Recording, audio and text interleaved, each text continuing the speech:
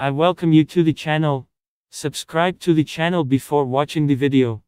In this video I have collected the best moments of the match Chelsea-Liverpool. Enjoy watching.